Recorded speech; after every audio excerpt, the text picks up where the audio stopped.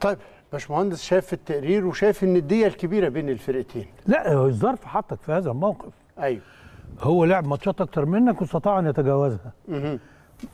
يعني قد تأتيك الفرصة إنك تريح نفسك على حساب ماتشات ما أعرفش إزاي ضاعت مننا. أيوه. لكن إحنا ما زلنا في ال- المنافسة والمنافسة القوية والحظوظ ال- القوية. مم.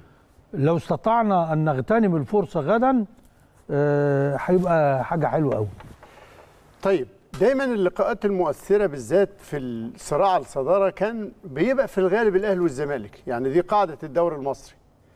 بقت جديد وطبعا كان بتبقى المباراة مباراة جماهيرية بنسبه بين الفرقتين.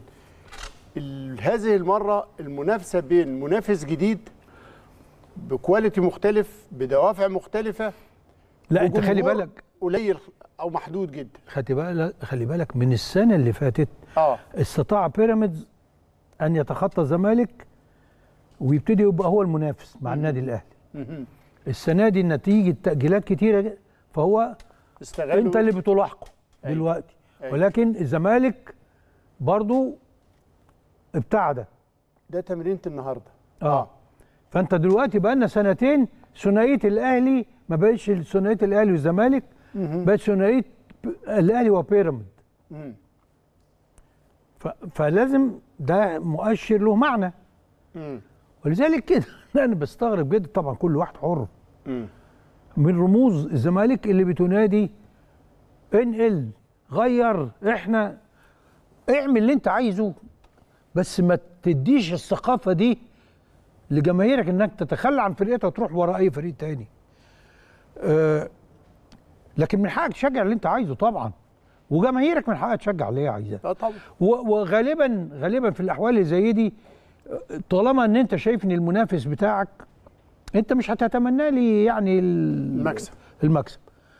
بس المجاهرة بيها شيء وإنك أنت تبقى طبيعي شيء تاني. أيوه. المجاهرة بيها دي دخلنا في في إنك بتنمي ثقافة مش كويسة. لما يخش ما تضمنش عواقبها بين الجماهير لا ما انت هت...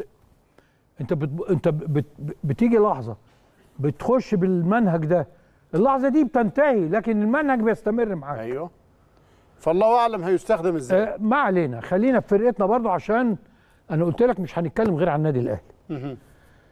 كل الأمنيات طبعا للزمالك إن هو يتجاوز الفترة دي المنافسة تعود إلى طبيعتها. آه، ولكن أيضا المنافسة دي بتخلي النادي الأهلي يا أستاذ إبراهيم ما ينامش. ما ينامش. آه ما يسترخيش. مم. أنت على الوتر. وده بيبقى مقلق ومزعج ولكن مفيد. مهم. لأن مفيدك فين بقى؟ في الساحة الإفريقية. آه. في كأس العالم. أنت بتروح أنت خلاص خلاص أنت مستنفر. مش رايح من عملية فيها استرخاء. مهم. آه، النادي الأهلي له مكانة يجب أن يحافظ عليها وسوف يحافظ عليها. لكن مثلا أنا بقول للناس ما تلتفتوش ليه؟ ليلة المباراة ديانج مش عارف فين وب 350 دولار. شوف الرقم. اصله مصاب بالصليبي والنادي اللي خده مش هيدفع كمان دول إلا لما يكشف عليه. طب ما في القايمة بكرة. يعني نقول لكم إيه؟ أنا اللي هقول اتقوا الله لأن اللي بيتقي الله مش محتاج حد إيه؟ يدعوه إلى أن يتقي الله.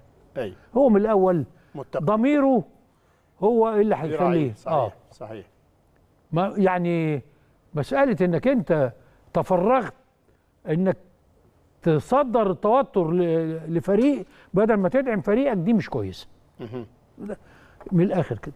طيب. طاقم حكام أسباني لإدارة هذه المباراة بقيادة الحكم الأسباني روخاس وبيساعده آه، خافيير البي البيرا البيراولا روخاس. وبيعاونوا ألفريدو رودريجيز مورينو وخورخي بوينو ماتيو والحكم الرابع فيكتور جارسيا وإيزيديرو دياز دي ميرا على تقنية الفيديو. وبيساعده ماتيو بوسكيتس. فيريرا. شوية اسماء البيريو البريولا البيرولا. البريولا روخاس. طيب. ده طاقم التحكيم الأسباني وده بناء على رغبة وتكلفة النادي الأهلي. يعني النادي الأهلي هو اللي تحمل ده لما بعت لاتحاد الكورة إنه عايز حكام أجانب لبعض المباريات اللي هو هيحددها. كان ماتش الزمالك اللي فات الذي لم يلعب والأهلي دفع الفلوس والطاقم الأجنبي جه مصر فعلا وراح زار الأهرامات وتفسح وسافر من غير ما يلعب.